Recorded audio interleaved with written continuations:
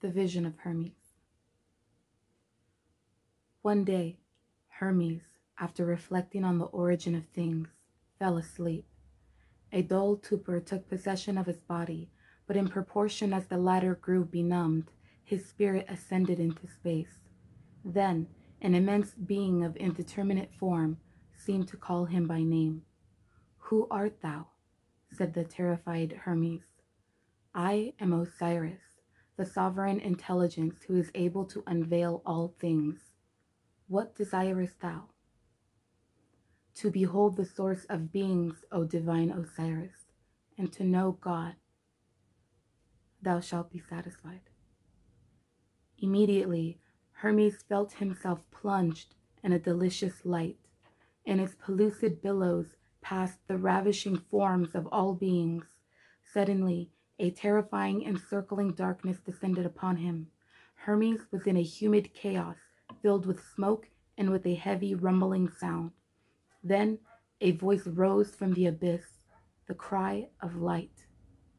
At once, a quick, a quick leaping flame darted forth from the humid depths, reaching to the ethereal heights. Hermes ascended with it and found himself again in the expanse of space. Order began to clear up chaos in the abyss. Choruses of constellations spread above his head, and the voice of light filled infinity. Dost thou understand what thou hast seen? said Osiris to Hermes, bound down in his dream and suspended between earth and sky. No, said Hermes. Thou wilt now learn. Thou hast just seen what exists from all eternity. The light thou didst first see is the divine intelligence which contains all things in potentiality, enclosing the models of all beings. The darkness in which thou wast afterwards plunged is the material world on which the men of earth live. But the fire thou didst behold, shooting forth from the depths, is the divine word. God is the Father, the Word is the sun, and their union is life. What marvelous sense has opened out to me? asked Hermes. I no longer see with the eyes of the body, but with those of the spirit. How has that come to pass? Child of dust, replied Osiris, it is because the word is in thee. That in thee which hears, sees, and acts is the word itself, the sacred fire, the creative utterance. Since things are so, said Hermes, grant that I may see the light of the worlds, the path of souls from which man comes and to which he returns.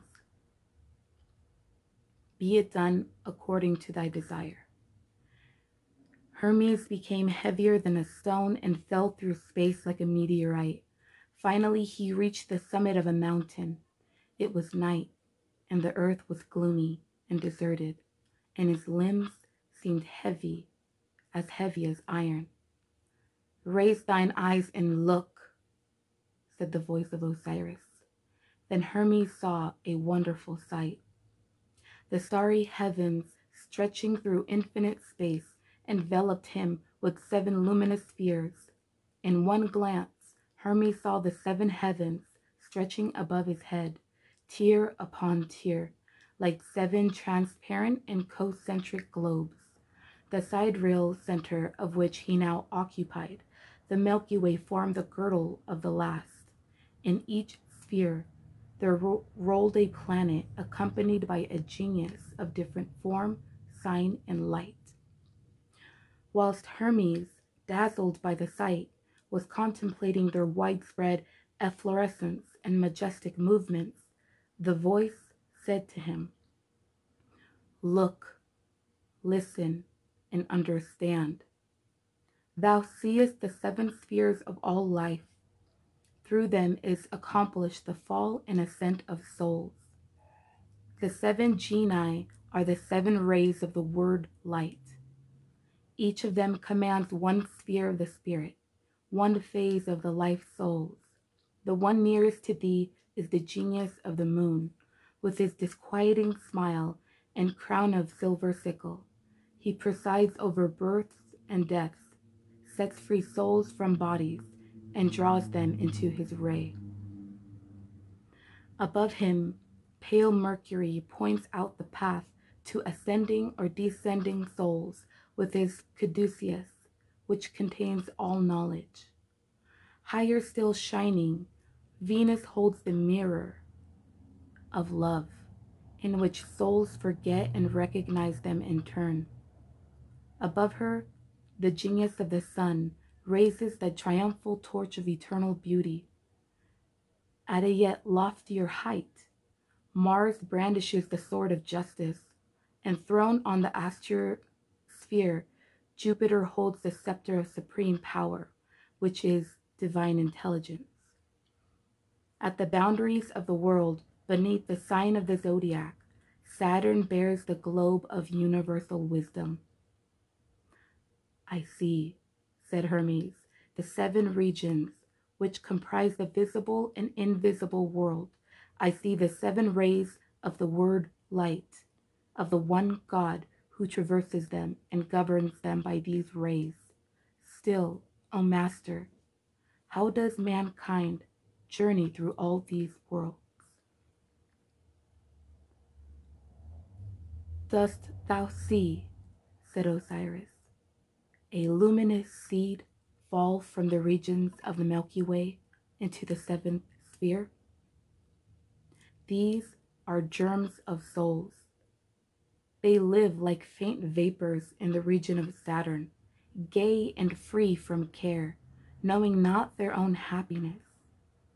On falling from sphere to sphere, however, they put on increasingly heavier envelopes in each incarnation, they acquire a new corporeal sense, in harmony with the surroundings in which they are living. Their vital energy increases, but in proportion as they enter into denser bodies, they lose the memory of their celestial origin. Thus is affected the fall of souls, which come from the divine ether ever more and more captivated by matter and intoxicated by life, they fling themselves like a rain of fire with quiverings of voluptuous delight through the regions of grief, love, and death, right into their earthly prison, where there where thou thyself lamentest, held down by the fiery center of the earth, and where divine life appears to thee nothing more than an empty dream. Can souls die? asked Hermes. Yes, replied the voice of Osiris. Many perish in the fatal descent. The soul is the daughter of heaven, and its journey is a test. If it loses the memory of its origin and its unbridled love of matter, the divine spark which was in it and which might have become more brilliant than a star, returns to the ethereal region, a lifeless atom, and the soul disaggregates in the vortex of gross elements. Hermes shuddered at these words, for a raging tempest enveloped him in a black mist.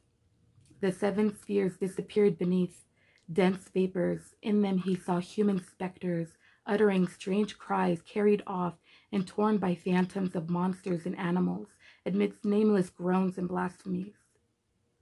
Such is the destiny, said Osiris, of souls irremediably base and evil. Their torture finishes only with their destruction, which includes the loss of all consciousness. The vapors are now dispersing. The seven spheres reappeared beneath the firmament. Look on this side. Do you see this swarm of souls trying to mount once more to the lunar regions? Some are beaten back to earth like eddies of birds beneath the might of the tempest. The rest, with mighty wings, reach the upper sphere, which draws them with it as it rotates. Once they have come to this sphere, they recover their vision of divine things.